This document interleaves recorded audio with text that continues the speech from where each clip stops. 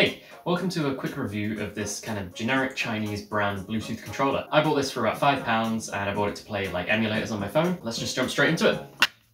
So the controller's made uh, fully of plastic and in terms of size, uh, I've just got a typical sort of smartphone here, a Xiaomi Mi 5. It's a little bit thicker than a phone, but yeah, I'd say maybe like half the size of a phone. On here, you've got an analog stick as opposed to a D-pad, and you've got four buttons on the right and four buttons in the middle. There's no kind of bumper buttons or anything like that. On the back, we've got a battery compartment, which I'll open up, and you can see it's powered by two AAA batteries. So it's not rechargeable, but you know, it's kind of a good thing. You can switch out the batteries and change it. Okay, so the, the controller is Bluetooth, and you power it up by holding the start slash on button. And if I keep holding this, I'll get into pairing mode eventually. Okay, and you can see it available. It's called MoCute something or another. And then we can pair with it. And cool, we're working. So over here, there's a little toggle switch and it's either on game or key. So when it's on key, uh, this is functioning as a volume up, volume down, kind of like uh, you get on a headphone. So we have to turn that onto the game setting. And then if I focus back on my screen over here, you can start playing.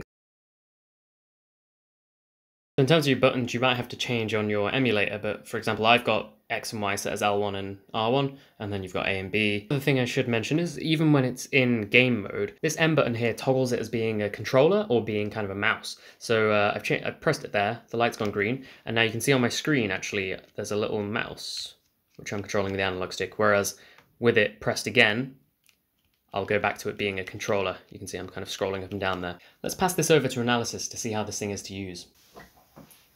So, as you saw by my playing, it is a little bit clumsy to use with that analog stick, and generally any games where you need kind of good control of that, like platformers, I think you're going to not enjoy using this controller basically. A D-pad is much better. As for the other buttons, I'd say they're alright, like compared to like an original Game Boy or DS. They've got a decent little feel to them, but they're not amazing. As I said before, you're missing those bumper buttons, so you're not able to emulate on all kinds of consoles, only kind of the basic ones, but I'd say it's not too bad in general, and since it's Bluetooth, it's quite compatible with uh, you know, a lot of different devices, and you've got those different modes I talked about, so it's quite a little versatile tool.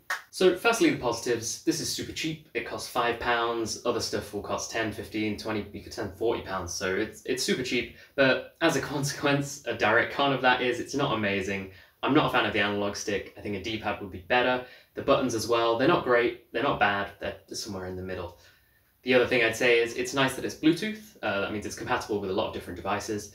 And also the fact that it's battery powered rather than being rechargeable means that, you know, it's just a bit easier, isn't it? You can just pop out the batteries, put new ones in, as opposed to having to charge it and having the battery degrade. I think that's everything I wanted to cover. If you have any comments uh, or questions, please uh, put them down below. And otherwise, have a nice day.